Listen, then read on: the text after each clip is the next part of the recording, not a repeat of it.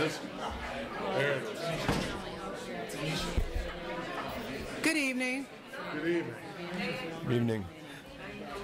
So I apologize um, for our delay. Um, we um, were in our closed session a, a little bit longer, so um, we appreciate your patience. Please stand for the Pledge of Allegiance. I pledge of allegiance to the flag of the United States of America and to the republic for which it stands, one nation, under God, indivisible, with liberty and justice for all. All right. Ms. Thomas, roll call, please. Dr. Bellamy? Here. Ms. Hill? Here. Ms. Walker? Present. Mr. Signer? Here. Ms. Galvin? Here. Are there any um, announcements? Um, I'll just follow up this. I think this was mentioned last time, but um, Mr. Alexand um, presents the fifth annual My Help List contest, a thinking and writing and reading activity. Entries of 150 words or less to share in writing. It's important to help people because list five things that you've done to help someone or how you can help someone. Eligible to all students throughout the Charlottesville and surrounding counties in grades categories K through 2, 3rd through 5th, 6th and 8th, and then high school 9th through 12th. One winner from each grade category will be chosen and win a $100 cash prize with a reception to be held in their honor. Winners will be announced on NBC 29 and alexand.com. It runs through Friday, April 19th. You can drop or send all entries to Carver Recreation Center under the title My Help List at 233 4th Street Northwest. Okay. Are there any other announcements? Um, I have a problem. Just, No announcements? oh, no, no. Okay. All right, and we have a couple proclamations. Uh, Mayor Walker, I'd like to defer my proclamation after yours. Could we have a moment of silence for the members of the Islamic community as well as reading yours? Okay. So if we could have a moment of silence, please, for those affected in New Zealand um, by the terrorist attack.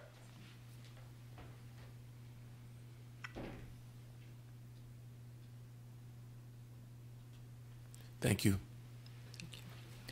And um, we have a proclamation that we want to present tonight. Um, in the wake of the horrific terror attacks at the mosque in New Zealand, the Charlottesville City Council reaffirms our commitment to the values of love and peace that led us to declare ourselves a welcoming city in 2016. We embrace our Muslim friends and neighbors. We celebrate their vital role in our community, and we reject the hatred, extremism, and division they have too often had to suffer. And Madam Mayor, I think we have a couple of representatives from the Islamic Society of Central Virginia here to receive this. Um, would you come up, please? Let's give them a round of applause, please.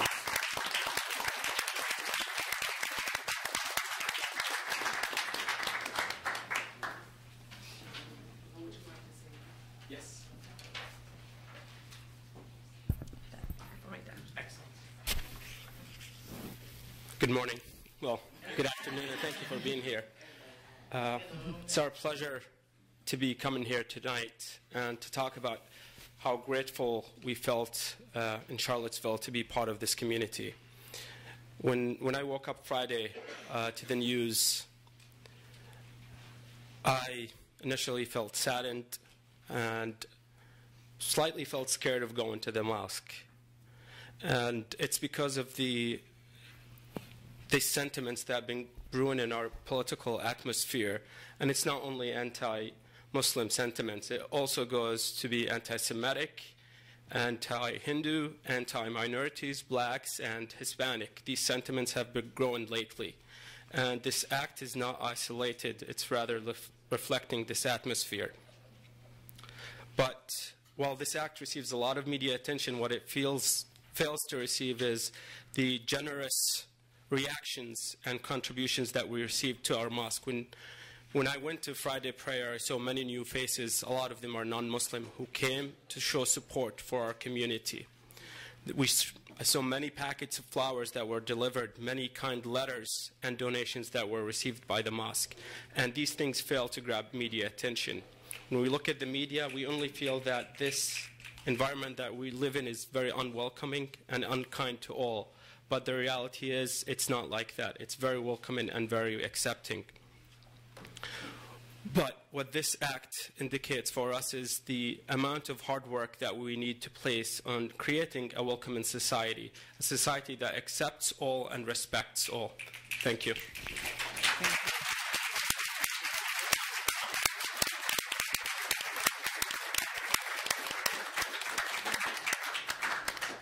Thank you. Thank you.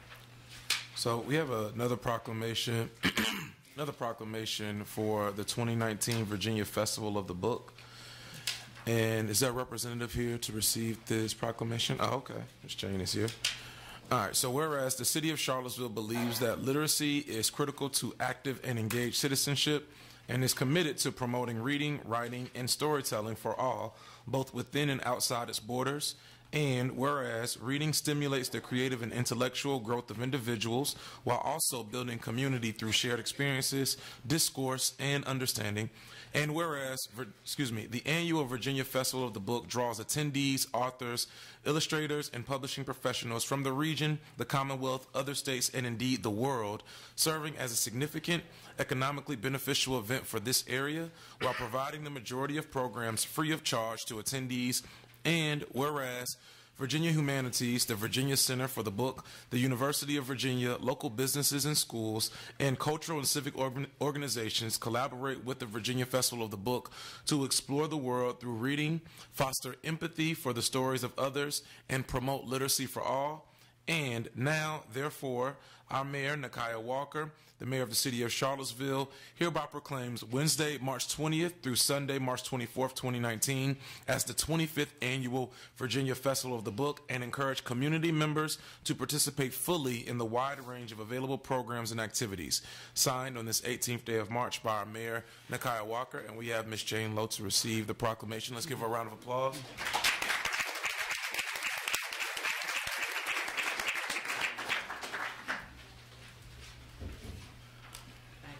Sure, please.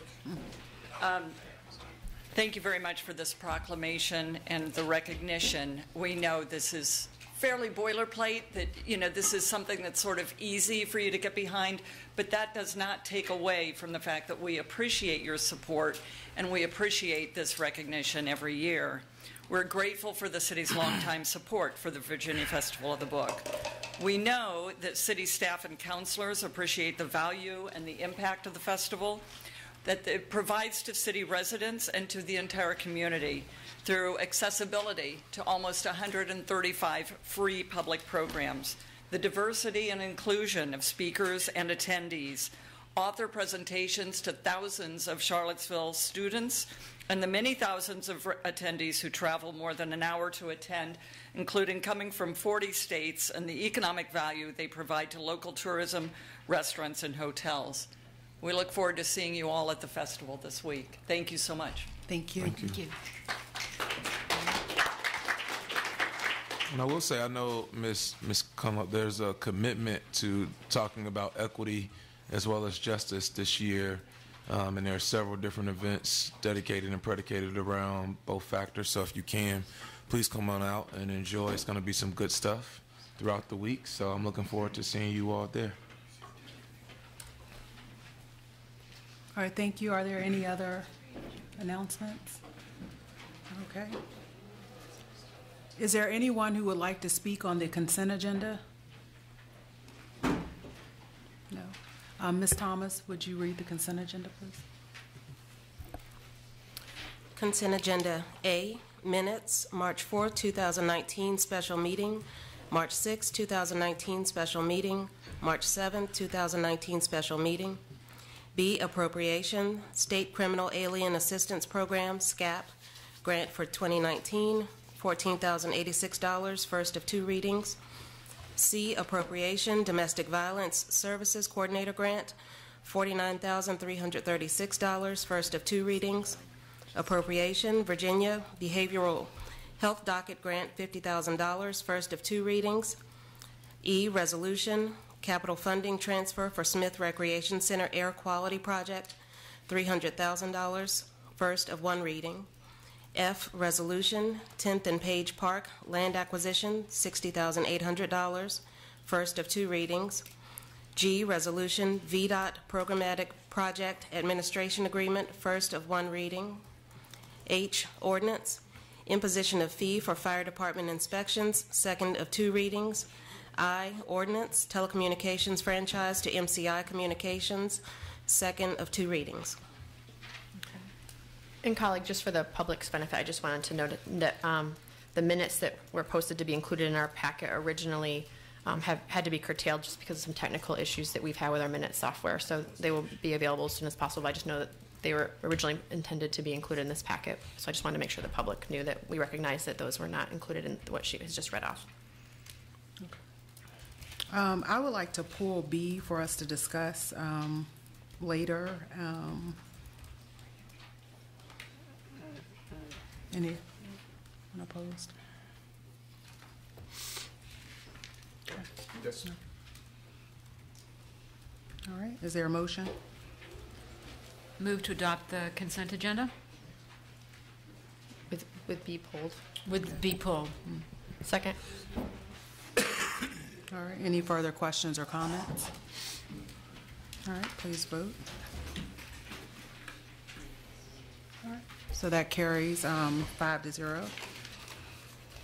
Um, Next, we'll have the um, response to the co- community matters um, from our March 4th meeting um, by interim city manager, Mr. Mike Murphy. Thank you, Mayor Walker. A few things that have been mentioned at uh, previous council meetings uh, that I want to follow up on this evening. Uh, The first is the uh, traffic situation, which has been of some concern at the Willoughby intersection. Uh, And uh, we have uh, been out there doing the striping that has been recommended by the traffic engineer to make the pathway, or to make it more clear what the pathway is. I believe the residents were concerned that perhaps we didn't have um, all of the data about the number of crashes in that area. So uh, we did go back and pull that for the entirety of the last year, uh, March 1 through March 6th of this year. Uh, And we went two blocks on either side of that intersection. In total, uh, there were eight reportable crashes and 14 non-reportable crashes in that area. Uh, The definition of non-reportable for these purposes is any damage less than $1,500. Um, Actually, of the eight reportable crashes in this radius, only four were in the intersection we've been talking about at the council meetings, and three of the four um, were uh, rear-end collisions by trailing drivers uh, who were at fault for not paying attention. So um, we we do have some good data. Uh, We're going to continue to look at other solutions because we know that past this one-year look back, that there was a very serious accident with a fatality there. Uh, But I do want you to know that we uh, are providing the additional study that we had discussed uh, and that the Traffic Engineering Department and Public Works continue to work on a solution. So, um, Let's see, uh, we discussed benches uh, on the downtown mall and the cultural landscape, uh, making sure that that cultural landscape, when it goes out, analyzes uh, the return of benches and should that happen and where, um, and what that design might be. Uh, But in the meantime, I had said to you, hey, we've got some of the old benches, and we can see um, just how many of them are serviceable. Uh, and uh, since they are a design that was already approved by the BAR, we wouldn't have to deal with the issue about these backless benches that were installed in front of City Hall. And uh, after talking with Mr. Daly, it appears we have about 12 of those benches that we could put back into service. There are already locations uh, that were predetermined where those benches would be appropriate, because as you know, the previous city manager, in response to some public comment, had those benches pulled out. So um, be happy to receive council's feedback, but it would be my inclination to work with Mr. Daly and install those 12 benches, and primarily where they went out of were uh, Central Place and down by the Violet Crown. Um, Is that correct, Mr. Daly? Yeah, so um, we'll look for the locations that are pre-approved. They would, as is the case, uh, you know, with the other benches on the mall, be bolted down. I know that, you know, in the way back, uh, they were freestanding and you could pull them around, uh, but with our issues with fire lane access and all that, a decision was made during the Bree re-bricking, that they would all be in place. So, um, happy to take council's feedback on that after I get through these few items. Um, you all are aware uh, that we've talked about in a couple meetings having a pilot of altering the trolley route. Um, and so I want to make you aware of the results of that pilot, uh, which were conducted uh, a week ago today. So uh, essentially, we could alter the route and come straight down Main Street onto South Street, uh, making a left-hand turn onto Second Street and going straight through the mall crossing. This would call for the reversal of traffic on Second Street, as currently you have to turn off of Water to head up to South, and it would be the reverse uh, in this case. There are a total of three and possibly four parking spaces that we would need to remove in order to execute this. Um, and so the first is as soon as you pull on to South Street, the, the two-hour parking spot that is on South Street. The next is right when you want to turn left in this new uh, traffic pattern, uh, kind of in front of the South Street Inn. Uh, and then because we would move the uh, parked traffic from the east side to the west side of Second Street, we would lose one and possibly two spots because of how the street is constructed there. So, um, again, this is something I'd love to have council's input on. Uh, however, by policy, what we would do is post signs for the next 14 days about the potential of removing those uh, spots, uh, take public comment, uh, and we could either act from a staff perspective at that point or return it to council based on your pleasure. Um, Let's see. Uh, There's been uh, some discussion uh, in chambers and, of course, uh, in the news about the posting of uh, our police data on the interactive website. Uh, I want to thank uh, Chief Brackney for her work in that regard uh, and make sure that the public and the council are aware that immediately after the initial launch, uh, we worked towards what our original intent was to uh, incorporate additional demography, chiefly uh, race and gender, and all of that is now active on our website. Um, Finally, uh, there's been some discussion here and via email about the Viet- Vietnam Veterans Memorial. Uh, We have installed some general parking uh, directions uh, or uh, parking signs, about seven or eight of them in that area. There is the request for some additional wayfinding, and chiefly what we still need to address is, um, you know, how do we continue to facilitate uh, better access if that is possible? Um, And so we are looking at a number of solutions. I know that one of the requests is a roadway and a parking lot. Um, There is a, both a access and a cost and design uh, issue there. And so we are, I'll just be honest, looking at other solutions like uh, bringing people over there by other means of transportation, perhaps through a reservation system uh, in order to facilitate that access. So bring you back more on that at a future meeting. So if there's any questions you had on those uh, five items, happy to address them now. The efficiency of that, providing transportation to, we don't know that yet? You're still exploring option? Well, uh, that, that really becomes a, uh, a policy matter for the council, whether they'd Okay. like to enhance that service and the cost benefit. I think it's the stance of staff that, uh, you know, the, uh, the memorial was constructed and improved at the time of the Warner construction um, per ADA standards, and so it is suitable in that regard. Uh, I didn't realize there's a lot of community discussion right now about whether um, the access point and the parking is too far away.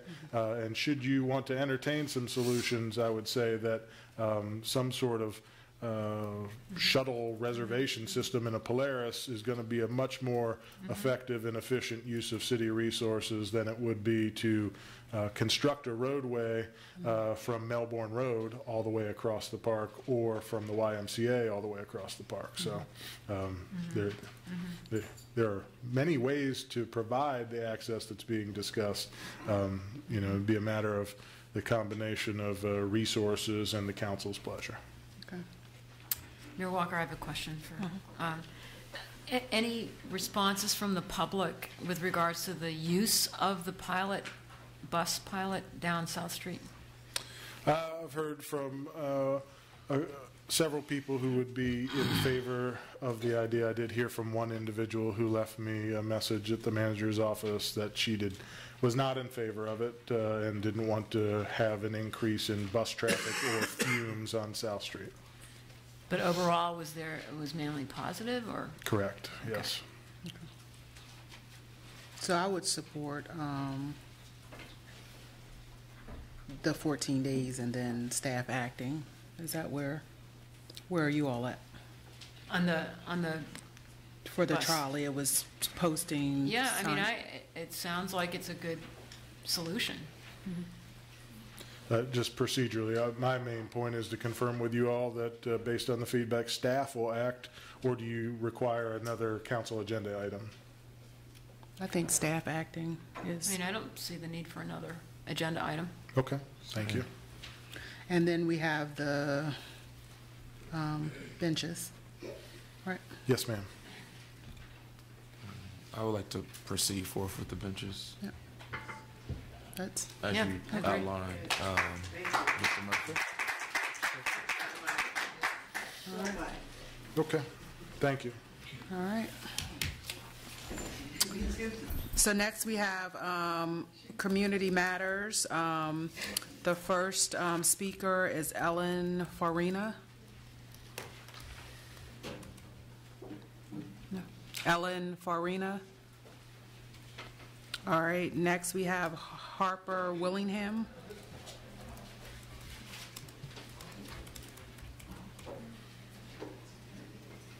Harper Willingham. Um, Next, we have Liz Reynolds.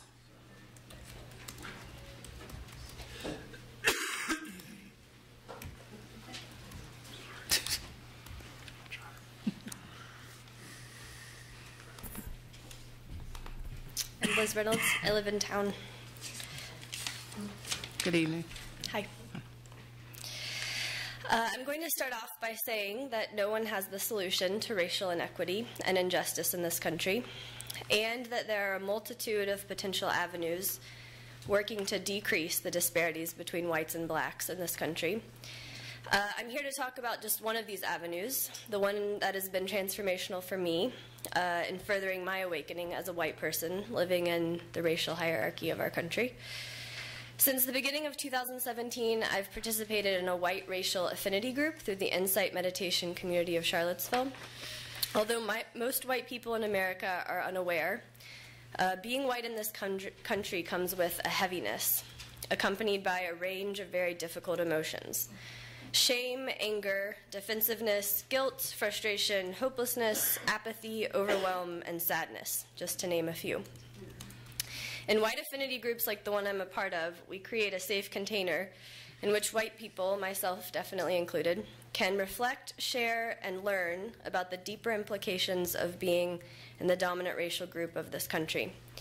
I've been involved in many racial justice initiatives in my adult life. Being a member of a racial affinity group that is based in mindfulness and meditation has been crucial to transitioning me from feelings of deep guilt, hopelessness, and overwhelm about racial injustice to a path of action and determination.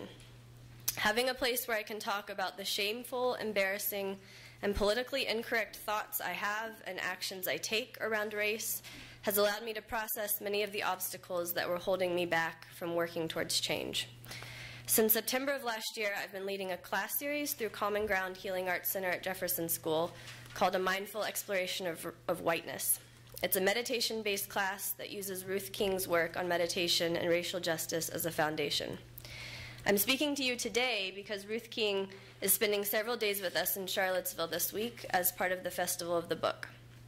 Ruth teaches nationally on meditation and racial justice and has been pivotal in leading our local Insight Meditation community to a greater understanding of why our group remains all white. And this is a pattern in Charlottesville, the all white institutions. Institutions and power structures have been and remain dominated by white people. There is much work to do amongst ourselves as white people, those in positions of power, both great, like the white members of City Council, and the less powerful but still influential white people like teachers, business owners, and retirees in our community. Uh, I've brought copies of Ruth's book for all the council members, and I encourage you to pass it along, whether you read it or not, to others who might benefit from her wisdom. I've also included the dates and times Ruth will be speaking around town this week, uh, and hope that you'll consider attending one of her events. Thank you. Thank you. Thank you. All right, next we have Walt Heinecke.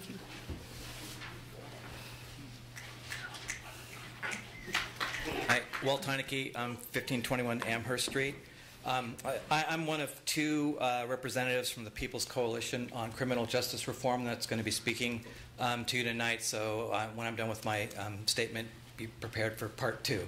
Um, so I just want to point out that next summer, the media will inevitably be back in Charlottesville asking questions about what has happened in the wake of 2017 in Charlottesville. What have we done? How have we responded to the to the to the um, the attacks of the white ethno ethno nationalists and the racists in this town? And how have we become awakened to our own complicity in generations of racial discrimination in this town?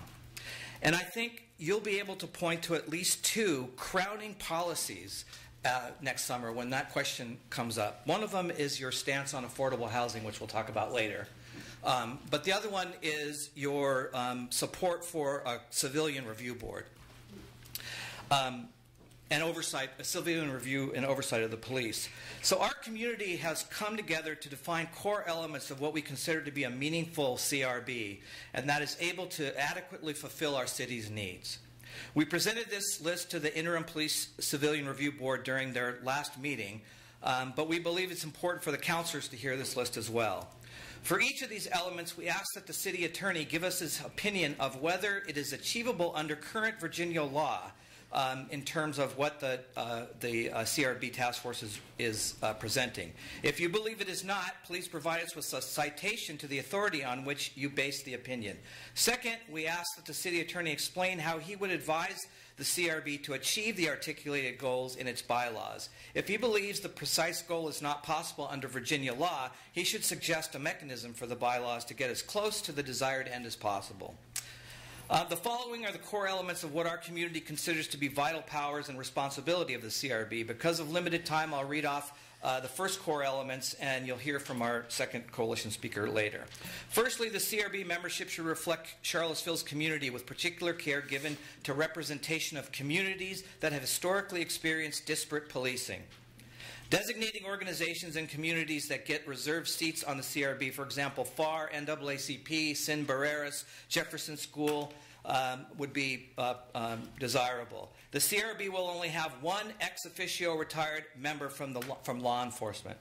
The CRB must have investigative power. Specifically, the CRB should be able to perform additional investigations of complaints through an, a, an investigative staff and have the ability to compel the production of documents and people uh, and people, witnesses, in fact. The classic mechanism for this is subpoena power, but we realize other avenues may be necessary.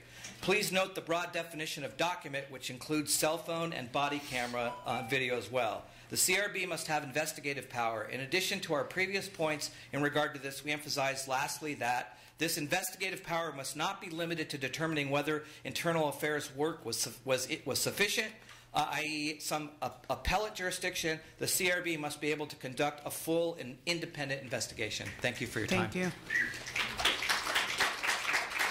I'm Susan Cruz.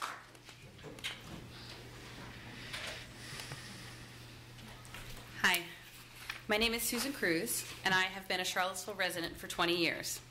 In that time, I have been active with both the environmental and social justice community. I worked at the Legal Aid Justice Center for 10 years, and I am now the executive director of the Charlottesville Climate Collaborative. The next 10 years will be critical for climate action, and the City of Charlottesville will be setting its emission reduction targets by June of this year. Through its climate action planning process, I believe that Charlottesville has the opportunity to stand out as a community, not just by setting a leadership goal, but also by the solutions we put forward to address community vulnerabilities. The intersection between affordable housing, transportation, and, and, fossil fuel emissions is undeniable. And as global temperatures rise, so will energy costs. This will have a disproportionate impact on low income communities who have the least ability to mitigate dra- dramatic temperature shifts with energy efficiency upgrades and clean energy technology. Charlottesville's Climate Action Plan should address the need to provide sustainable, energy efficient, affordable housing in order to move our whole community forward. The first public comment period for city residents to weigh in on community wide emissions reduction goal closed at midnight last night. The Charlottesville Climate Collaborative submitted three letters in that comment period. The first was on behalf of 41 local for profit and nonprofit businesses, representing nearly 3,000 employees, including businesses such as Sentara Martha Jefferson Hospital, the CFA Institute, Champion Brewery, and nonprofits such as Virginia Organizing and the Legal Aid Justice Center. We submitted the second letter on behalf of seven independent schools, including the International School, Peabody School, and Village School. The final letter was submitted on behalf of 827 citizens, 422 of which were city residents. Each letter asked the city to set a leadership emissions reduction goal of 45% by 2030 and carbon neutrality by 2050. Each letter also this, that the city conduct an emissions inventory every two years to keep us on track. The Charlottesville Climate Collaborative is well positioned to work with businesses who are ready to invest in sustainable practices, schools who are educating the next generation of climate leaders, and nonprofit organizations advocating for affordable housing, energy efficiency, food security, and climate justice. We believe that our work can support city and county leaders by convening sectors and developing common sense policy solutions. 2019 is an important year for climate action in Charlottesville, but the next 10 years will, will truly determine whether or not citizens and local governments capitalize on this momentum to lead our whole community forward. I'm looking forward to working with each of you and city staff to build a climate action plan that builds energy independence, stimulates our economy, and protects vulnerable residents and our planet. Thank you. Thank you. Um, Mary Carey.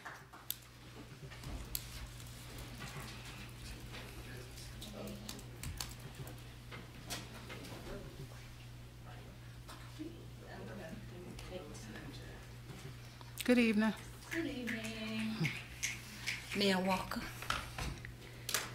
Mary Carey City resident, as you know. Uh, thank you, Mr. Uh, Murphy, for getting this pilot started. I think more people will get on board once they get the literature out because uh, I talked to a lot of people last week that rides the trolley that gets off at 4th and Main and have to walk to Friendship Court and Ridge Street and Dice Street and stuff. So by that trolley coming down South Street, it saved them a couple steps. And like I was saying earlier, I saw uh, one of those big buses come out of Second Street the other day, 65 passenger, take that wide turn and go down South Street. So I know it can be done. Uh, last month was Black History Month, and Miss Galvin, I was thinking that you might have uh, had the decency to uh, apologize for what you said in November about Vinegar Hill and Star Hill being one and the same.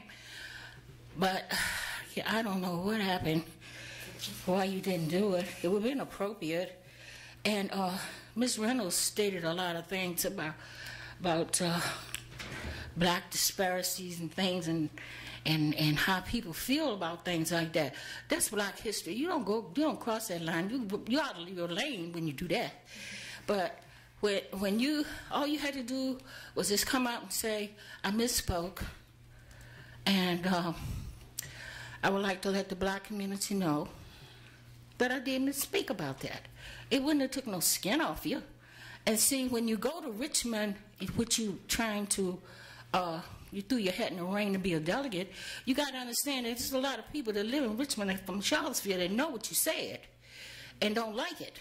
And a lot of people in Charlottesville that are voters, black people and white people, that know what you said don't like it. And when you start going around talking about black history and, and you, you read it somewhere, I lived it.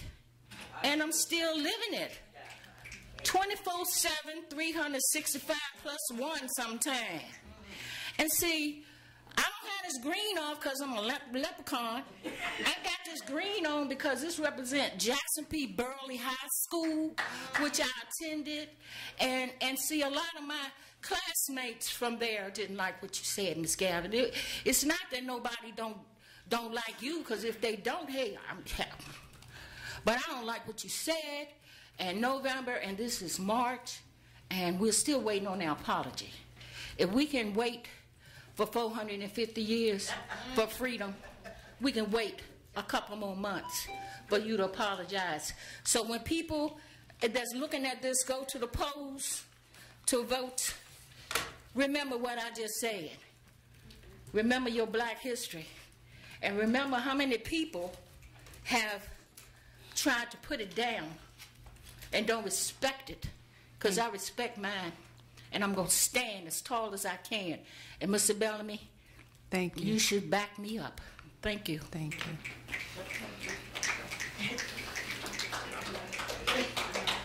Harold Folley.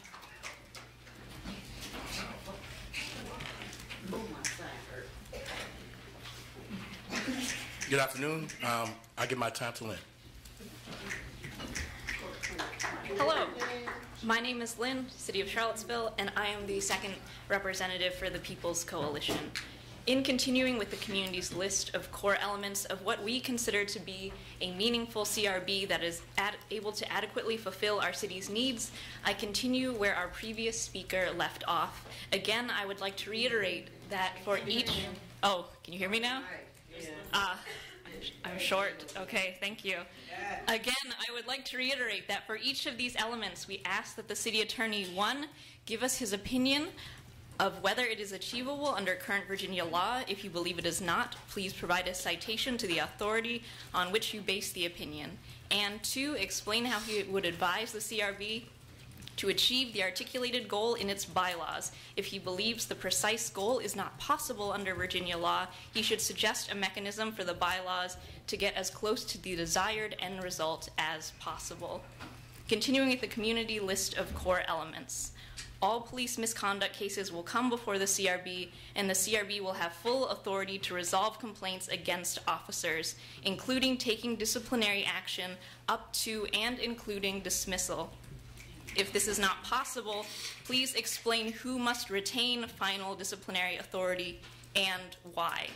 In addition, we prioritize the ability to make public robust data on policing. This involves monthly supervisory review of stop and frisk data, including CRB access to both summary reporting and raw numbers.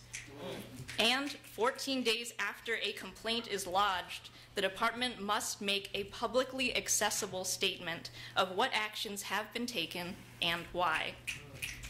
Also, the CRB must have adequate staffing and resources to fulfill its mandate. This includes, but is not limited to, the ability to access outside counsel, aka lawyers other than the city attorney, for the CRB when necessary, and for its auditing arm, hiring a staff person to do the auditing.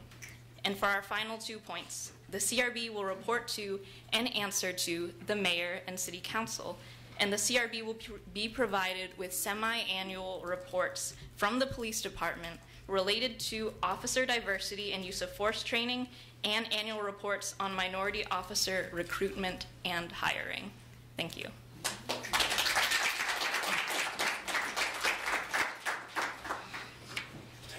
Um, Idil Akhtan.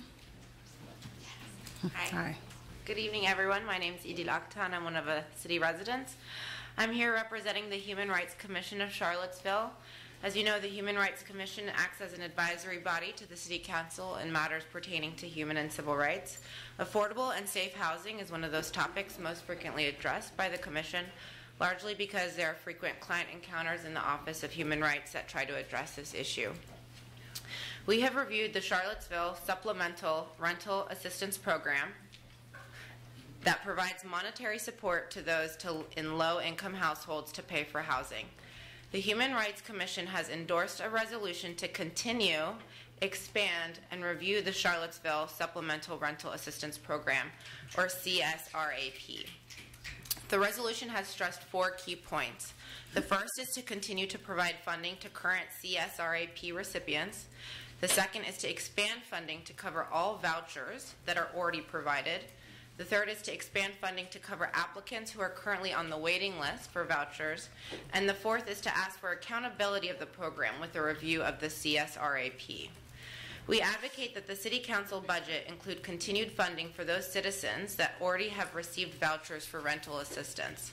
According to figures from the Charlottesville Redevelopment and Housing Authority, or CRHA, which I'll refer to as such, from January 31st of 2019, there are 77 households currently living in housing supported by CSRAP. According to CHRA, it will cost 627,000 to continue to support these families in the fiscal year of 2020. CRHA reports that 16 additional households have received vouchers and are currently searching for housing, and current funds do not fully cover the number of awarded CSRAP vouchers. We recommend the appropriation of additional funding to provide for all families who have already been given vouchers for the 2019 fiscal year. According to figures provided by CRHA, this would include appropriation of 131,000 for the fiscal year of 2019. Additionally, we support increasing the funding for CSRAP in the 2020 fiscal year. At the end of January, CRHA reported 28 households are on the waiting list for vouchers. Supporting these individuals in the fiscal year of 2020 would require an additional $229,000. So to reiterate, to cover all voucher holders who are still searching for housing in this fiscal year of 2019, that would require an appropriation of 131,000. To cover all current voucher holders plus those on the waiting list requires a total budgeted amount of 987,000 for the fiscal year of 2020. And finally, our resolution supports a thorough review and assessment of CSRAP by the Neighborhood Development Services. We recommend this review to be done prior to funding appropriations with the goal to ensure that the figures are current, current, and accurate, and that the program is functioning as prescribed by the City of Charlottesville Affordable Housing Fund CSRAP grant agreement. At this time, I would like to invite all audience members who are in support of continuing and expanding the CSRAP program to please stand or snap. Um, and thank you for your time and attention. I greatly appreciate it. Thank you. So just just as a, a just kind of for FYI, I'm the council rep on the Housing Authority Board. It's currently in the budget for us to continue funding the vouchers, and I think it's a dis. I'm talking in a minute. I think it's a discussion that we'll have to have with the Housing Authority. Maybe we, Mr. Duffield isn't here, but I see Mr. Collins from PHAR. Um, in terms of expanding, because I don't think council has got that direct request, to have we? So we would probably need to, from the from the Housing Authority Board, place that on our agenda and then send that request to council. Um, it's my opinion, since I've been on the Housing Authority Board, council has been rather generous in terms of uh, ensuring that the Housing Authority gets the funding that they need. So it's just that in terms of continuing that, we just have to follow the process. So I'll speak with Mr. Duffield or Mr. Collins and some of my colleagues on the Housing Authority Board about the way in which we want to go in order to see some of the increase come to fruition. But I think we have to have a discussion about that first because there's some other things that we're working on as a housing authority board that may complicate that. Yeah. If it's okay, Mayor Walker, yeah. So, uh, thank you for the comments from the Human Rights Commissioner. Uh, This is an area that uh, I was aware you all would be coming forward, so I've been asking questions both of our staff and Mr. Duffield. We actually have a meeting scheduled for next Friday, which is the 28th? 27th. 20 8th, 9th, uh, somewhere in there. Next Friday, how about that, 10 a.m. Um, And so I will say that upon the initial examination, based on the dates uh, at which council has uh, appropriated monies in the past, that all of the figures that are being discussed and the numbers of people who are receiving rental assistance are your FY18 appropriation, which means, as I've discussed with Mr. Duffield just last week, the entirety of $945,000 is available in this fiscal year for the remaining three months.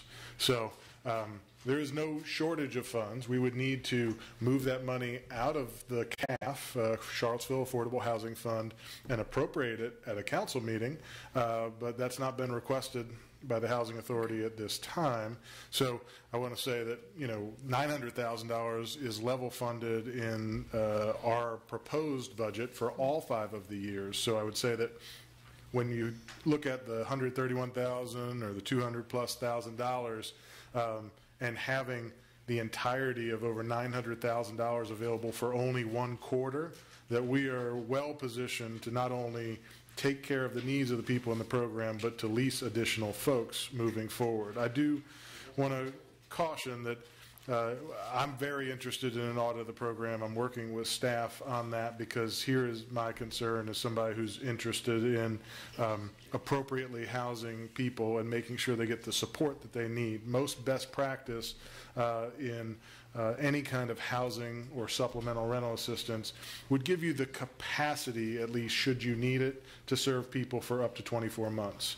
And as it stands right now, we did spend a lot of money in the first year without having uh, the backstop, but as it looks as though we've tapped none of the 19 money, we find ourselves in good shape. So just want to make sure that going forward, that anybody who gets a lease, if they have the circumstances where they continue to need rental assistance for us, that that is, uh, as we continue to recertify folks, possible for them to get that for up to two years. There will be people who will move or not need assistance for the full 24 months, and we need to be carefully tracking that in an audit so that we know when to unencumber those funds and allow new people to get leased up. So uh, this is definitely top of mind, uh, and I do think we have adequate funding to take care of the request. Thank you, Mr. Murphy, for being on top of that. Thank you. Tanisha Hudson. Don't push the button yet. Thank y'all for that voucher stuff. People appreciate it. The community appreciate it.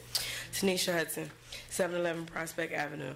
I want to talk about a couple different things. One, uh, Mr. Swingler, who runs Rose Hill Market, is requesting that two parking spaces on Rose Hill be designated for 15-minute parking so that people can come in and out of Rose Hill Market and Jones Heating and Air because the little cafe on Dale Avenue and Rose Hill Market, a lot of the people that go there are taking parking spaces.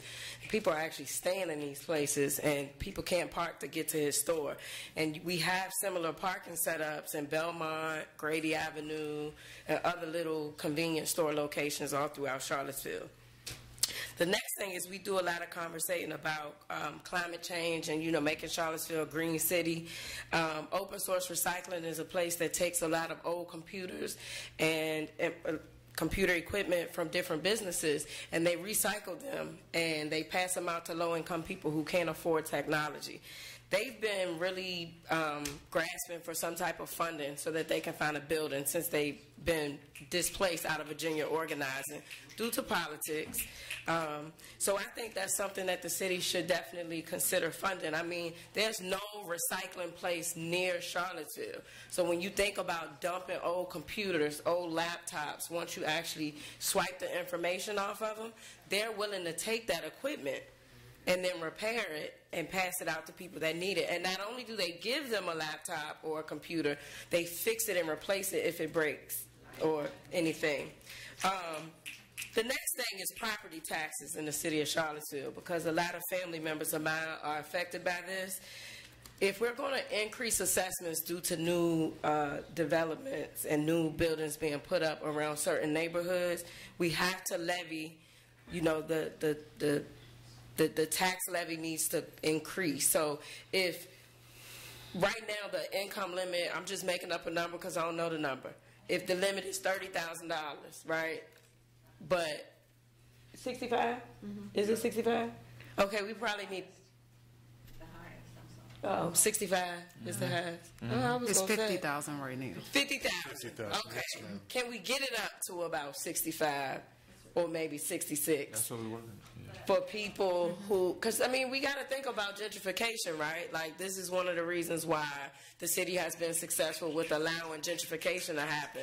Taxes has always played a part. If you look at the Star Hill community, if you look at the Vinegar Hill community, if you look at certain communities, we know that this is the reason why they were able to take people property. And I had a meeting with some of you gentlemen, and you know I found some information that proved that very point on how they were going into these communities, Cedar Street, Run Street, Page Street, Pearl Street and taking people property because they owe $25 worth of taxes at the time. We don't want to allow that to happen moving forward. We want to do our best to try to keep the natives in the communities in which they chose to purchase their homes. Thank y'all. Y'all doing, you know what? Sorry, I need like 10 extra seconds.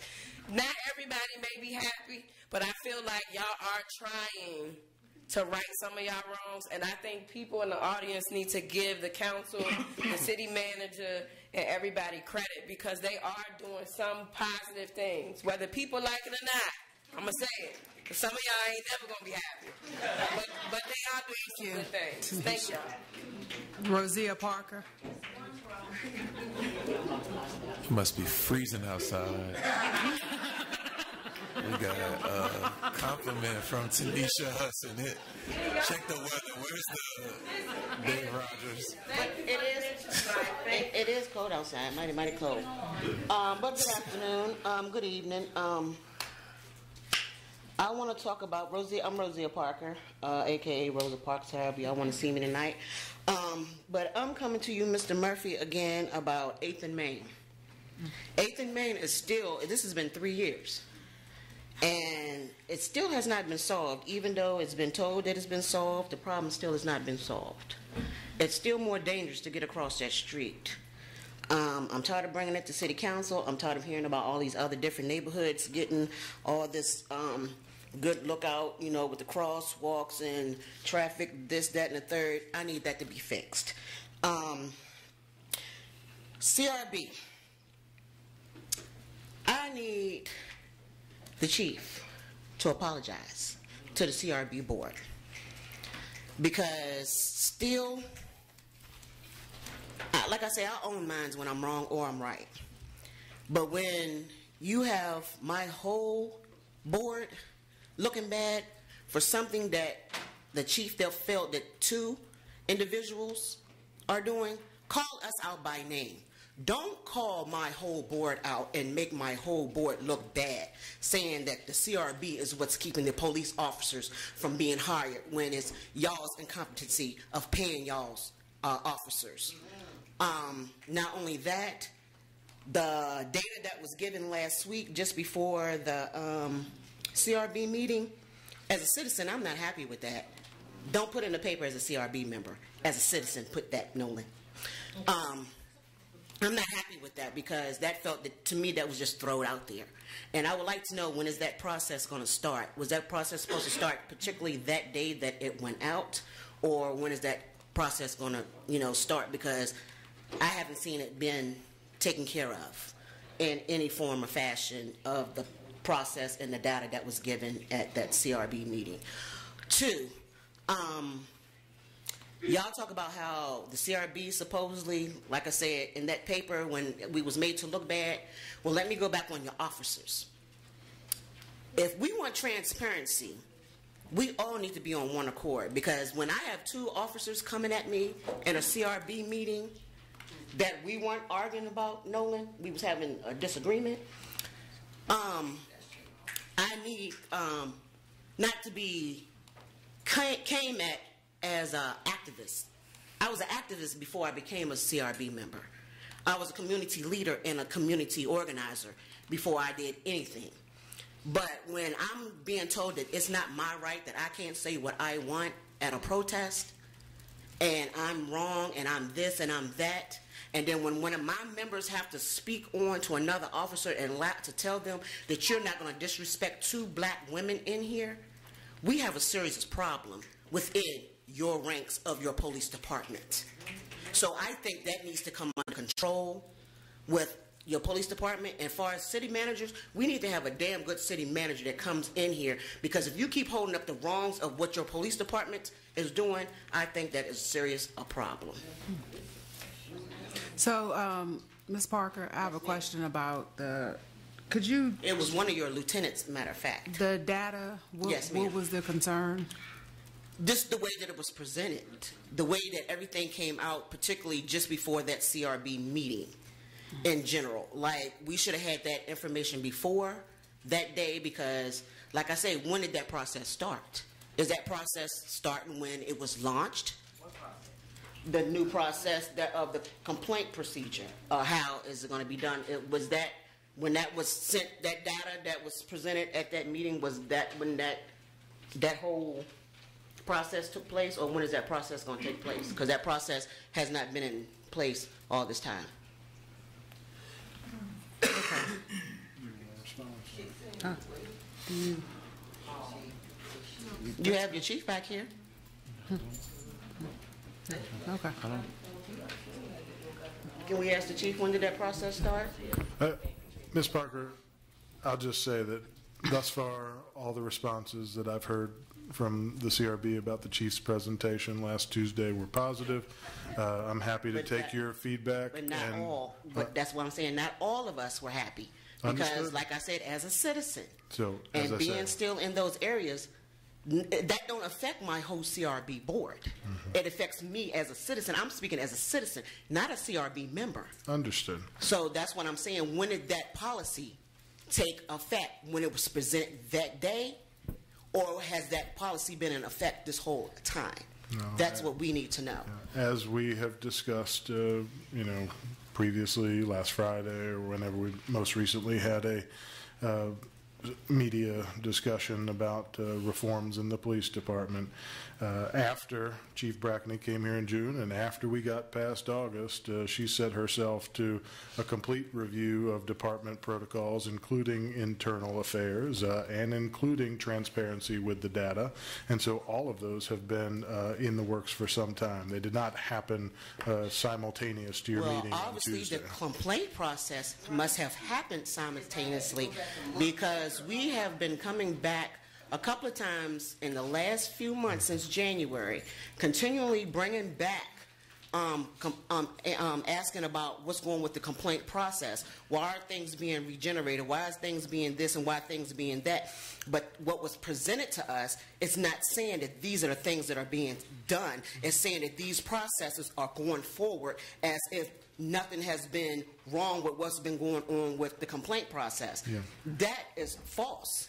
We're in complete agreement that the closure of cases during 2017, 2018 were unacceptable, and that the chief We has taken that, but steps as a to citizen- change the process. But as a citizen, I understand that y'all are saying that it was um, whatever you're saying it is, but still, something still isn't right because the citizens of Charlottesville still do not know what the indications, what took place.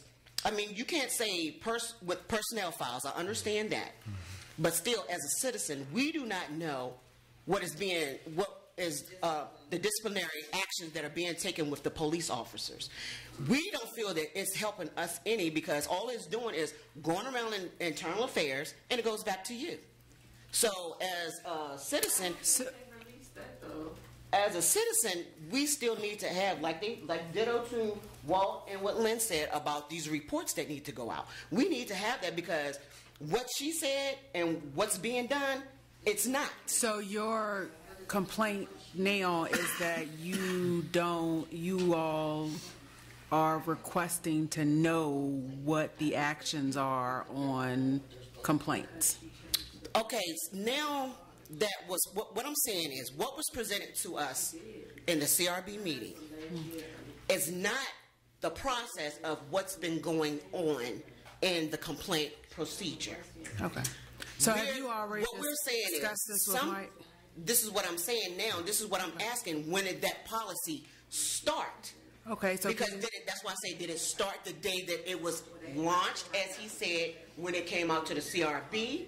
Because we've been to this mic quite a few times in Jan- since January. bringing the same stuff back up about these complaints. Mm. And even in the reports of certain things from the chief, Okay. what was presented is not running concurrent as to what's being told to us as citizens, what was presented, and actually the actual process. Okay, so could you and Mr. Murphy connect to see? I don't have no problem. That's why I asked. Okay. When did this start? That's why I was asking. Would he be able to ask her when it started? Mm. Because if, it's, if it started that particular day, as a citizen and the citizens who listened to what was presented from the newspaper, a lot of us, not just saying me in particular, we're not seeing that. Okay. So get- that's what I'm saying. I- I'll just say that, I'm not uh, clear. you know, we have made some. Do, are y'all not understand what I'm saying? We've made some changes to the process Mm-hmm. in order to improve the citizen response Yeah. and in order to be transparent. It's my understanding that those uh, same files that the CRB received are online, and as each case is closed, they will be updated, and it will be known what the disposition of each of the cases were. Will you know uh, in the case where somebody was, uh, there was a sustained finding, what the discipline was for a particular know we officer? won't find You it. will not, but you will know in each case with each date whether it was sustained, exonerated, et But that's the problem because a lot of everything has always been exonerated, exonerated, exonerated, exonerated. So There's you're saying nothing that you been- all don't agree with the outcome, and that's the question? Exactly. Okay, so, because everybody is being exonerated. So it's, act, it's it's made to seem that the citizens are lying as they're putting these complaints. so I was in the room when um, the chief went through the list and read that there were actually cases that had been sustained too. yeah, but not as many. Okay. Very, not So- very, very, very little. Very little. But I'm just saying, compared to what's been shown and the complaints that have been put forth, not only with, you know, now I'm not talking about Miss Turner's complaints. I'm talking about other ones that have went, you know, that we have been dealing with. And it's, you know, they're not saying the same thing. And it, like we said, we're steady coming back with the, you know, the generated every 30 days, you know, generation, generation. So, it, but right. she is saying that it's not coming through this way. Okay. But that's what I'm saying. What was presented and what was told how the process goes is not how the process is, you know, actually going. So that's why I'm just trying to ask, when did the process start? All right, thank you. All right. Peter?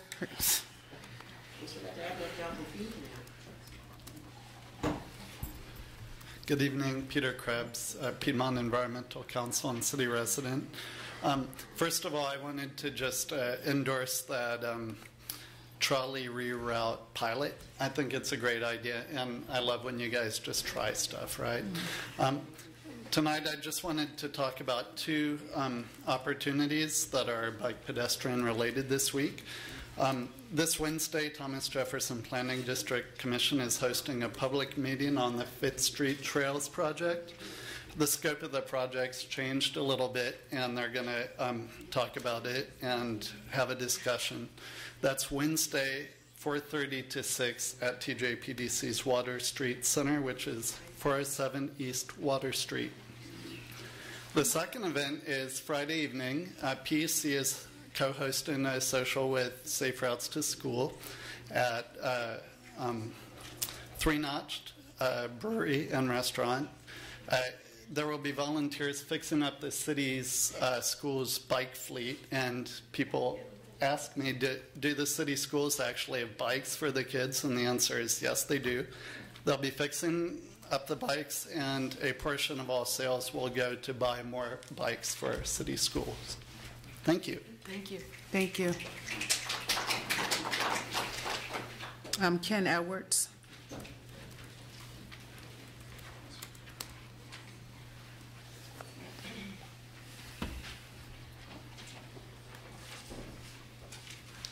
Good evening. Good evening. Good evening. Evening. Evening. How y'all doing? Good. At the snap. My name's Ken or Kendrick Edwards. I am a city resident. I am here this evening to talk about the rising tax assessments. The rising tax assessment, assessments need to stop because many people have been displaced from their homes and or will be displaced or forced to sell. Uh, let me just share with you how fast my assessments number have changed over the years. Y'all ready? 1997, 55,000. 2000, 58, 60,000, 64,000, 121,000, 183,000, 220 in 2005, 220,000, 2006, 269,000, 2007, 311,000, 2008, 342,000. Uh, it dropped a little bit in 2010, 2011, uh, 301,000, 2012, 312,000. Uh, let me move up a little bit. 325, 2017, 338, 2018, 365, and 2019, 414. Just want to share a little story with you. My oldest brother lives in Oklahoma, and he has 80 acres. And I know Oklahoma is not Charlottesville, but he has 80 acres, two houses and a barn on it. The last time I checked with him, I paid more than he did on his taxes. And he has 80 acres, and I have 0.1620 of an acre. Let me share with you what else needs to be looked at. Some years ago, uh, my wife Holly, that's the mayor's friend, went to an open house. And as soon as we walked in, the realtor told us, oh, this house has been sold. And the realtor goes on to say, and the people who offered, uh, people who bought the house, basically started bidding on the house. It could have been a hundred thousand, but after they finished, and somebody came in with a whole lot more money, they could have paid two or three hundred thousand, which I know factors in to what the tax assessment, because tax assessments are based on the price the house is sell around. So when you got people coming in who have a whole lot more money than many people in this city, that's a problem. Some folks from other areas are so desperate to live in Charlottesville that they'll pay anything. Let me wind up here. But you can't expect people that work at UVA, restaurants, school teachers, police officers, EMT, fire departments, personnel, rent, to be able to purchase a home with skyrocketing assessments. Uh, so we need to look at that. And I also encourage you to partner uh, to help folks become homeowners by partnering with uh, Habitat. In other words, hook them up with some dineros. Amen? Amen. Thank you. And uh, please look at those high rising tax investments. One more thing. Somebody tore down a house not too far from me and built a new one. Guess what the tax assessment on the new house is? Six hundred and twenty thousand. You used to be able to buy a house in Belmont for sixty thousand dollars. Have a good night. Thank you. Myra Anderson? Myra's not here. Uncle Ken. Um, hmm. So I don't see. So is there anyone else who would like to um, speak?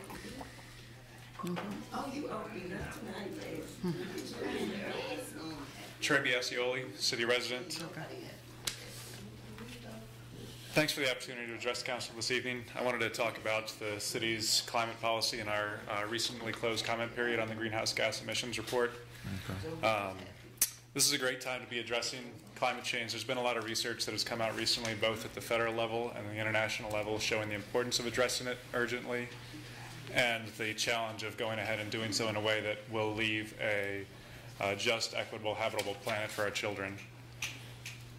Like many others who have come before me, I want to emphasize that the city should be a leader in adopting aggressive climate goals, and we should have regular targets that we go ahead and monitor on a biannual or, or other regular basis. But I don't want to reiterate what a lot of other people have addressed to council before. I want to talk about a specific issue that hasn't been addressed much, and that our policies, policies seem to run counter to. Specifically, it's our ownership of a fossil fuel utility, Charlottesville Gas. We operate it like a conventional fossil fuel utility. We provide incentives for the adoption of fossil fuel infrastructure. And we spend advertising dollars to go ahead and incentivize its use. Last fall, as it does every couple of years, this Charlottesville Gas went ahead and sent out mailers to non-gas customers, such as myself, within the Charlottesville Gas service area, extolling the supposed benefits of gas usage in homes and encouraging the installation of gas-fired appliances. We continue to offer free hookups to gas service for residences in the area, a subsidy of several hundred dollars per residence. So we both spend money advertising these fossil fuels and we incentivize their adoption by providing infrastructure free of charge to homeowners. There once was a time when natural gas may have been the cleaner fuel from a climate perspective, but those days have passed. As our grid, as our grid has gotten cleaner, as we've added wind and solar, and we've retired a lot of coal plants, electric options are by far cleaner than natural gas furnaces, water heaters. Heat pumps, heat pump water heaters, electric induction stoves, they're both better for indoor air quality, and they're both better from a climate perspective. Nonetheless, we continue to go ahead and advertise and incentivize natural gas adoption. That trend is only going to continue as the grid gets cleaner, as we add more wind, solar, and low carbon resources. There's a growing recognition that electrification of building appliances is going to be an essential and cost effective step in addressing any sort of aggressive climate goals. The Public Utilities Commissions of, of California and Massachusetts have emphasized building electrification. The government of the United Kingdom recently proposed a ban on, uh, on natural gas fired home heating appliances starting in 2025. So this is not just the activists proposing these changes, this, these are the bureaucrats speaking in this manner. So I have three recommendations for the city and res with respect to Charlottesville Gas. One, stop incentivizing fossil fuel usage. Remove our incentives for going ahead and installing infrastructure. Switch the incentives. Encourage the use of cleaner electric-based appliances such as heat pumps and heat pump water heaters. And three, commits to a zero carbon future for Charlottesville gas. Get us off of natural gas and uh, reduce the demand for it and switch to a clean renewable fuel for home heating. Thank, Thank you. you. Do we have Jehu Martin? Um, Andrea Massey? Is there anyone else who would like to speak?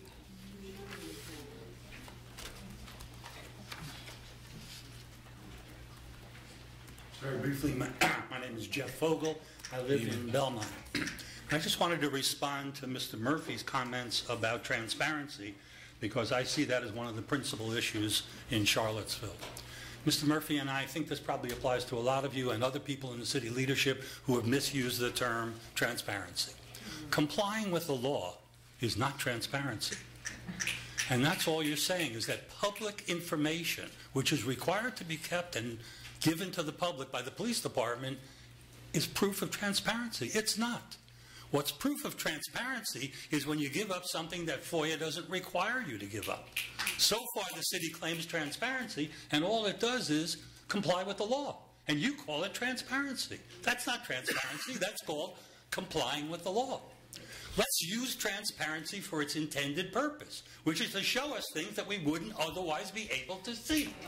And that's what's consistently the issue with the police department and in many other respects with this community. Now, one of the things that was learned at the last CRB meeting was this notion that you could not reveal anything in anybody's personnel file is not a requirement of law.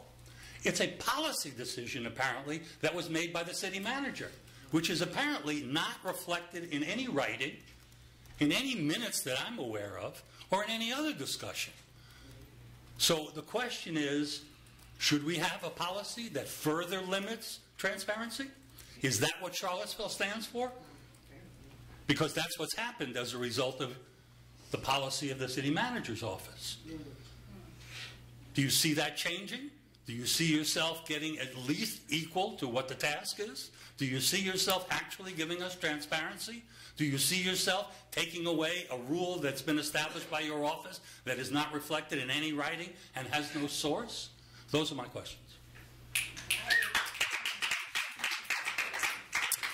So I would say, since I was at the CRB meeting, that right after the CRB meeting, um, Chief Brackney and I had the discussion. Um, the city attorney had uh, made a statement in the meeting, um, and we haven't met yet to discuss what um, the possibilities are because we haven't had time since the meeting, but the discussions did- start based on the statement, the presentation, the statement that was made.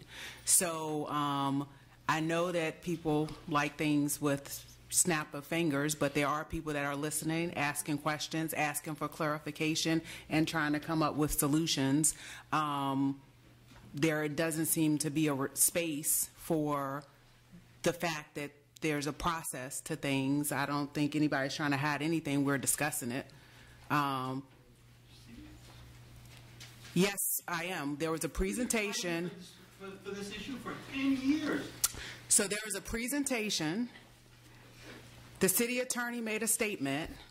We are now having discussions about how to make and what we can make happen. It's a discussion. So unless we come back and say nothing has come of that discussion, I don't think anybody should be thinking that we're trying to hide something because we started having a discussion right after the meeting. You all haven't met again the CRB hasn't met again. And so I think there's just a level of impatience um, and to just say that we are doing the same things that's been done. Transparency, I don't think, um, and I am actually questioning that because even with what I thought coming in, that could mean how irrational some people, including you, Jeff, have been, has been quite harmful to a lot of processes. Irrational about what? Jeff, Nakai. yes, completely irrational. Okay? Yes, That's a ridiculous statement. You That's fine. Back it up. You just can't throw those That's fine. out. I wouldn't throw them out about you. okay, that, well, apparently that's not the case. I just had started a conversation with you about your statements. So anyway, What was irrational? We are attempting to work on it.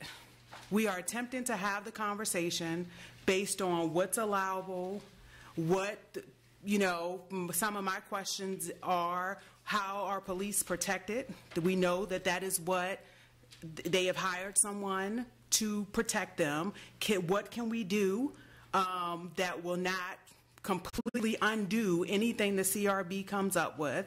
There are, I think, a lot of components to this. We're trying to figure it out. Nobody's trying to hide anything. Again, I will say we started the discussion soon as the presentation. At, you all were in the room.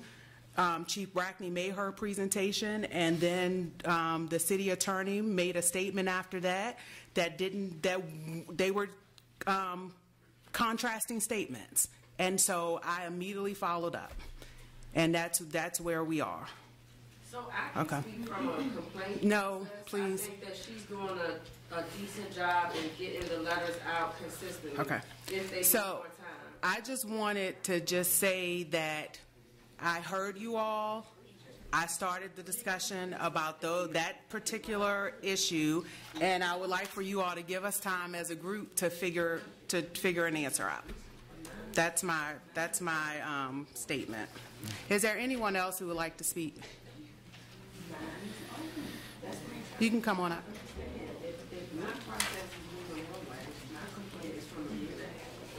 Hello. My name is Jane Fletcher. I live at 527 Park Plaza. I want to talk about real estate taxes. I live in a wonderful neighborhood, but I live in a very modest home. I have one bedroom, one bathroom.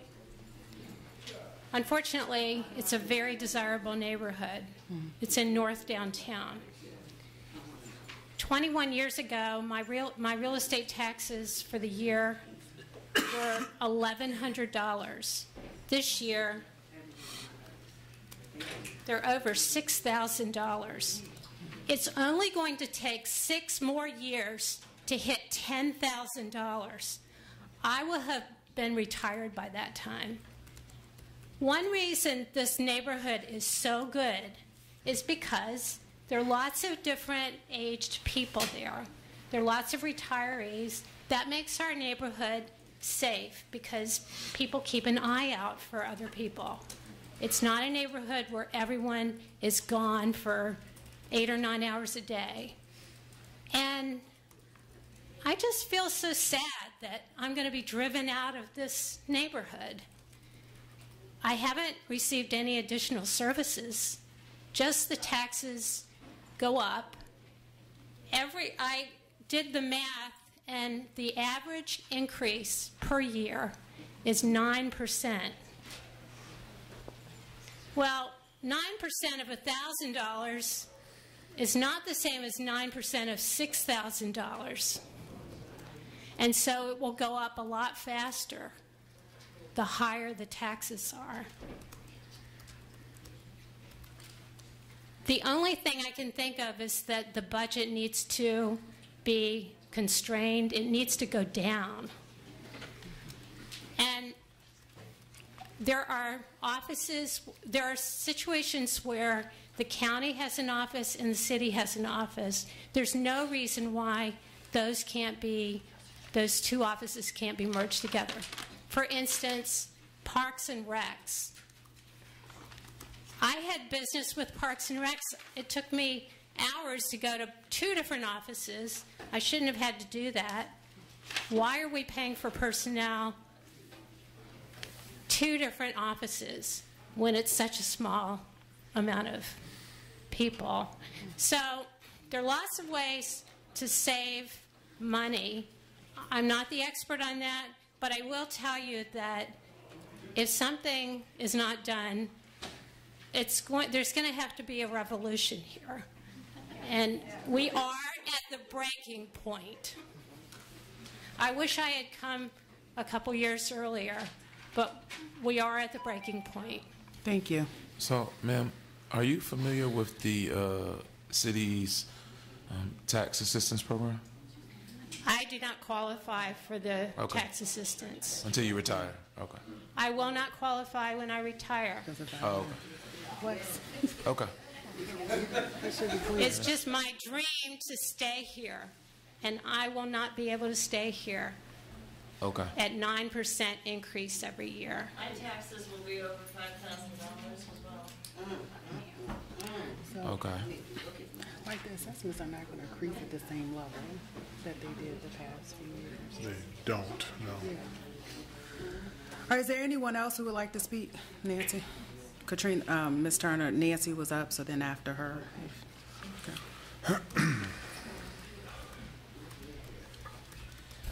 Not too long, but my name is Nancy Carpenter. I live in the Rose Hill neighborhood. I want to thank Ms. Hudson for bringing attention to a potential parking issue there at uh, Rose Hill Market. I hope that the traffic engineer will agree with her and uh, provide uh, Mr. George with, you know, parking for his uh, patrons of his store because he's an important part of that neighborhood. I also want to thank uh, uh, Mr. Murphy and the bo- uh, board for um, looking at putting back the uh, benches that have backs on them uh, that were taken out. I remember those conversations several years ago, how the Downtown Business Association just didn't want to have a lot of poor people hanging around the downtown mall. Seems like that's still um, a situation. The other question I have is, uh, is, is for the city manager, um, trying to still determine if that uh, Vinegar Hill plaque that was attached to the retaining wall near the code building has been returned to Parks and Rec. It has, okay. Uh, what will be, will the uh, uh, construction company uh, put that uh, re- uh, area back as it was after construction? Because that was supposed to be repurposed for a park to memorialize Vinegar Hill. Um, there hadn't been any money put towards it, but it was in a, a plan. And I want to make sure that that area is put back in the condition it was so that the plan can go forward with um, putting that as a park to people who lived, actually had footsteps, footprints in that area uh, instead of the way it looks now. And the other thing is, in this, uh, talking about parks, I'm still a little um, peeved that uh, Washington Park doesn't have any money put towards any improvements to that area except for standard maintenance um, to the buildings and the grounds. It's, I went, when I drove by there the other day coming to work, the, the swim building just looked tired. It just looked like something out of another century. I think it could certainly should put some money uh, in putting uh, a, a better face on the park because after all, you're going to have all those people at Dairy Central who want to have some place to walk their dog. And I would hate that the only time that the park gets updated is when a lot of uh, people move in that are at a very higher economic level than a lot of people living in that around those neighborhoods right now. So let's, you know, maybe the next fiscal budget look at actually putting some more money into Washington Park and, you know, making it a gem like it should be. Thank you. Thank you.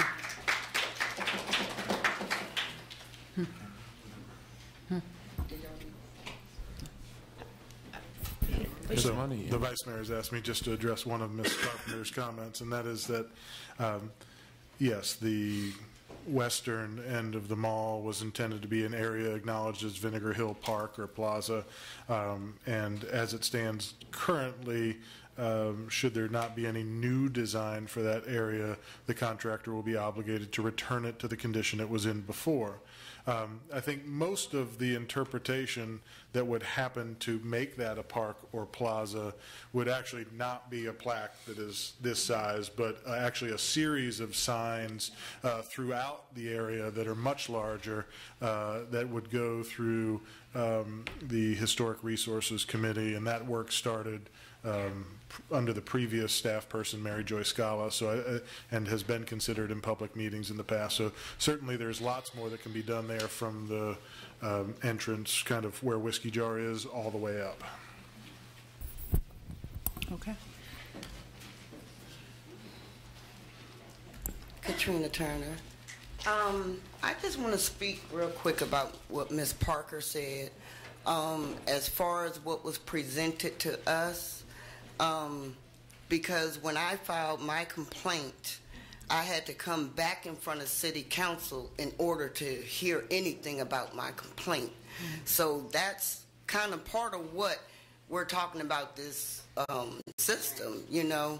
Um, and plus, last year, if you could recall, you asked the chief to write me a letter stating that she did not view a videotape of my son's arrest that she only looked at a picture of my son's arrest. I haven't gotten that. That's been probably, what, five, six months now? And when she presented, you know, the complaint form, well, the complaint, um, the I think the sustained part of a complaint, like if you make a mistake on a report or something, the disciplinary disciplinary actions that's supposed to go against you.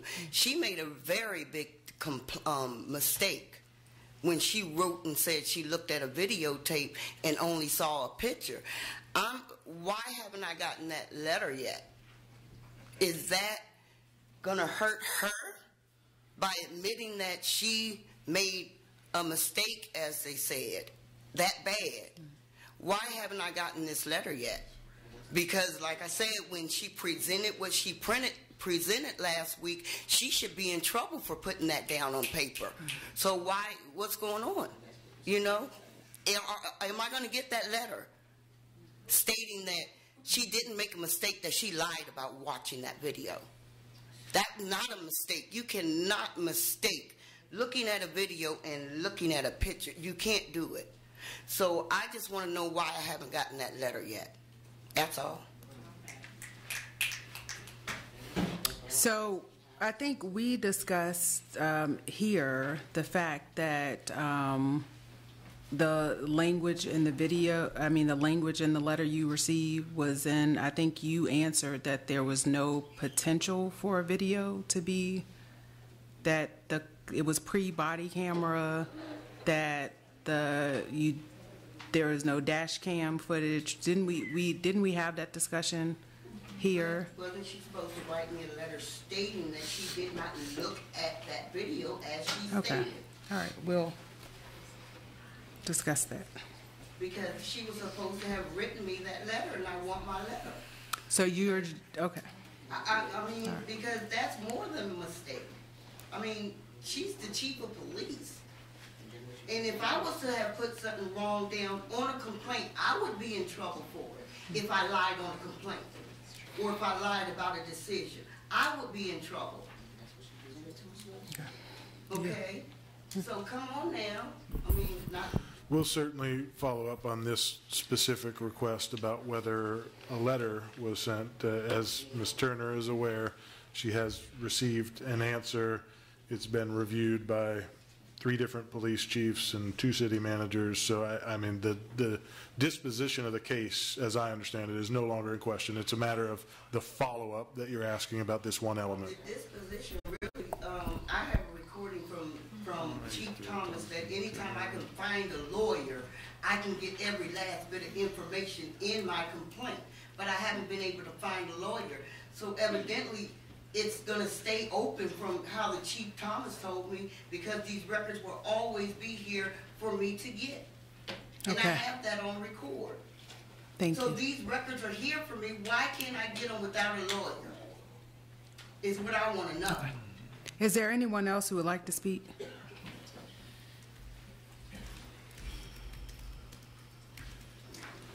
Good Excuse me. Good evening, Council. Uh, Hello. Mayor Walker. How are you, ma'am? Um, to to piggyback many of the other uh, citizens who've come up about taxes, um, we presently live in a in a house that is over 100 years old, and yet in the last two years, our our assessment has gone up fifty-two thousand dollars, with no structural changes, no no no enhancements to the facing of the property, nothing. But it's it's gone up some fifty-two thousand dollars. The only thing that has changed is the Dairy Central project, which is right around the corner from where I live. So this this takes me back to the conversation I had with you all some time ago when this was being first bantered about. What it does to a neighborhood when a developer comes in and puts up a project like this. It drives up the tax base and then in many cases makes it impossible for the residents to continue to live there because they can't afford the additional taxes that come with it. So once again, in perpetuity, we need to allow for residents in these areas that are affected by these types of, de- of development plans to, um, to, to not be so adversely affected and not be forced out of their homes because again, it just equates to, to, to backdoor gentrification. People are best being driven out because they can't afford to pay the taxes on the homes that they've done nothing to, that they've done nothing wrong with, other than they live in an area that was affected by development. So please, I ask you, you know, remember and look into the look look inwardly and realize that the most valuable resources we have here in Charlottesville aren't the, the hotels and the restaurants that, that, that litter the skyline. That it's not UVA, and it certainly isn't those grandiose granite giants that, that brought the hatred here a couple of years ago. It's the residents. That's the city's most valuable resource, and that's what needs to be protected. Thank you. Thank you. Mr. Gathers. Mr. Gathers. Just um, because I think some people, I don't think everybody's going to be here when we have a discussion. So I just like to, to say this briefly. So we've been talking about this for some time, and just from my personal position, I hear you wholeheartedly. My assessments went up as well, but it's twofold because we hear from a lot of people that there needs to be a commitment to affordable housing. The city has, for a long time, not done what we're supposed to do for the same population that you're talking about in regards to providing housing, in regards to providing subsidies. We heard an eloquent statement from um, the Human Rights Commission, which I think is in agreement with members of the Low Income Housing Coalition and several other groups about why there needs to be an emphasis from City Council to put a priority to address affordable housing.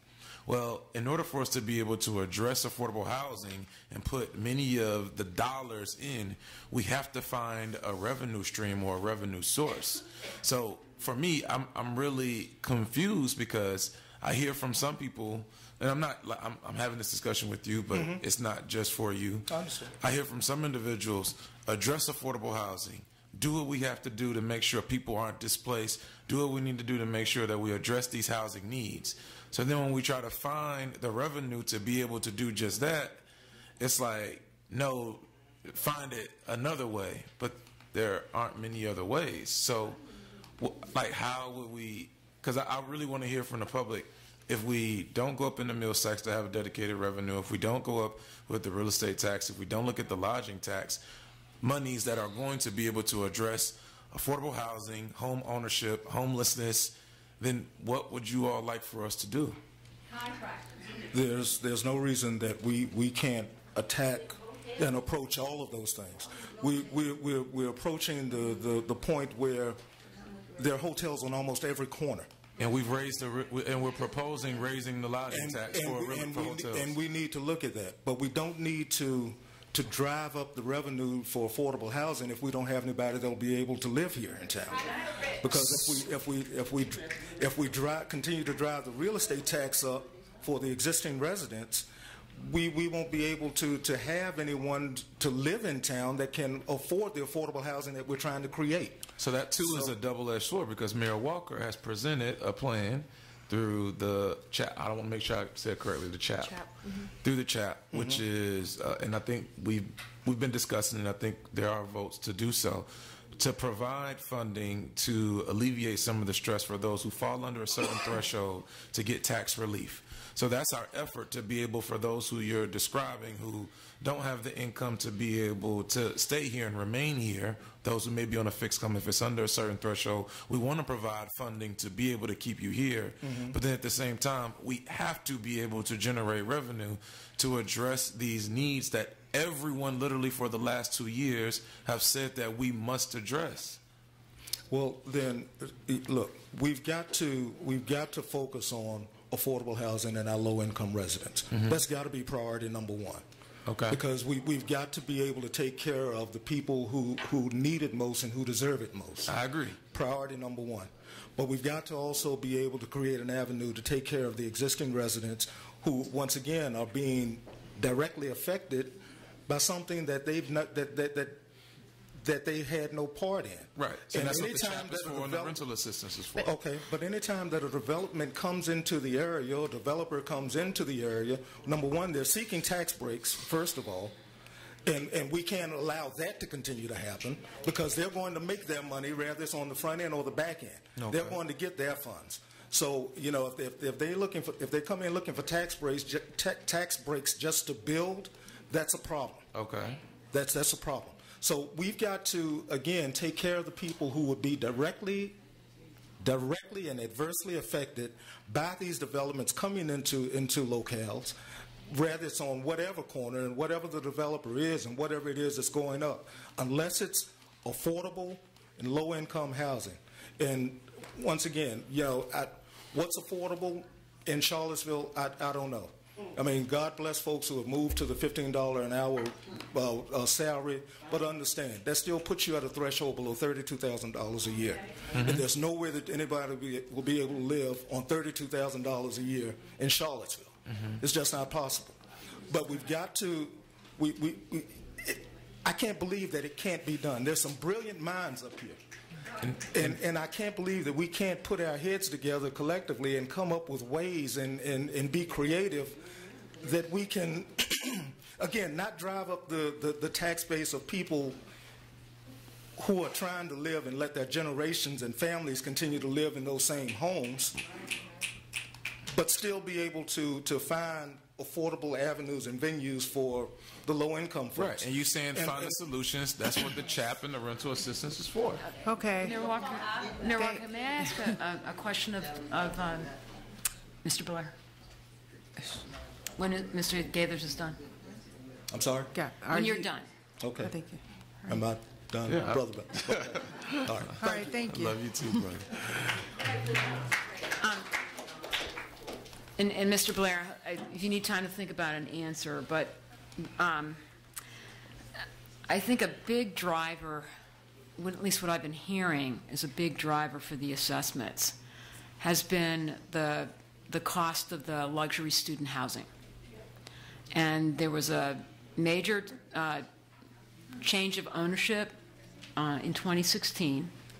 One of the luxury student housing developments on West Main Street, which gave rise to a huge jump in land value. And that has had a reverberation across the entire city. Can we have a moratorium on luxury student housing?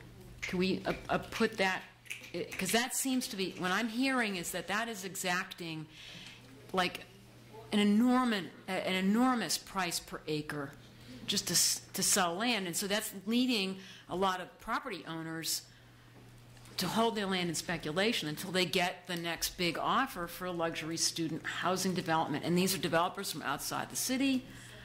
And, and can you be that selective, or is it, can we change the zoning wholesale, like sooner versus later, to not allow luxury student housing? Or can we prohibit special use permits for luxury student housing?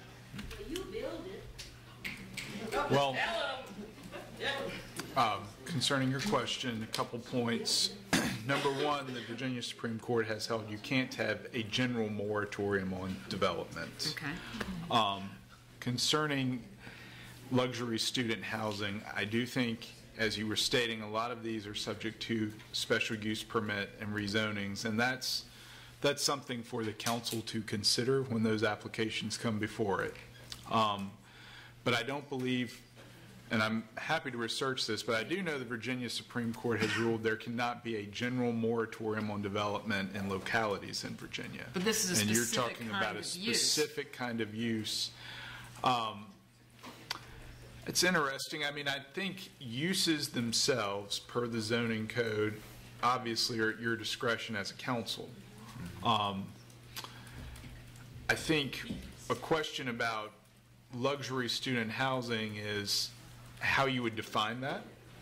And when you talk about multifamily versus student housing, and whether there can be a distinction on that, or, or whether Mm. there couldn't be. I mean, I think that would be a- an issue you would run into, but I'd be happy to research that.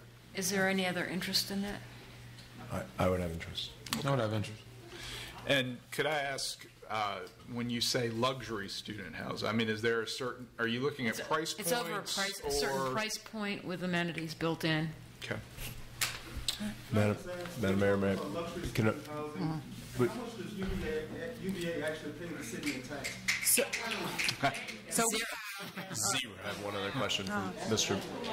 that's another front of negotiation.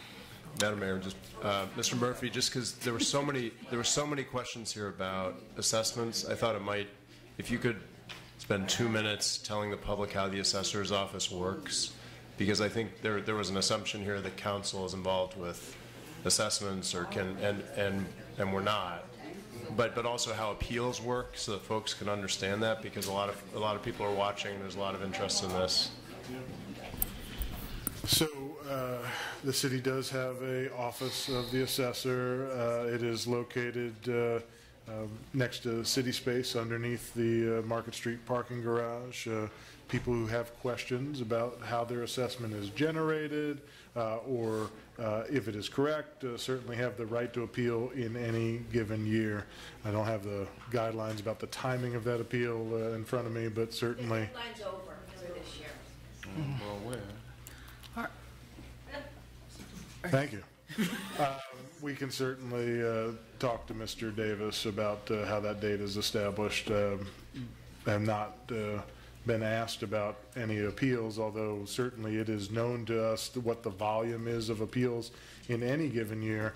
Uh, And we actually estimate that in the budget uh, for a certain number of those appeals to be granted. So we we do know that on occasion uh, that the process does change the assessment. Uh, It is true, uh, as some folks have alluded to, that um, a lot of these assessments are driven by the, what what a realtor, somebody else would call the comps, right? The comparables, how- uh, what sort of houses were sold in that uh, direct area or, uh, and, and there are parts of the city that are disproportionately affected. You know, there are parts of the city, uh, well, on average, we know that just the residential, since we're talking about mostly residential uses in here today, I think the average is about 8.7%. But there are places with little to no increase and places that I'm aware of that have 18, 19% increases. So uh, they are really um, based on the specific area, the type of the house, et cetera. Um,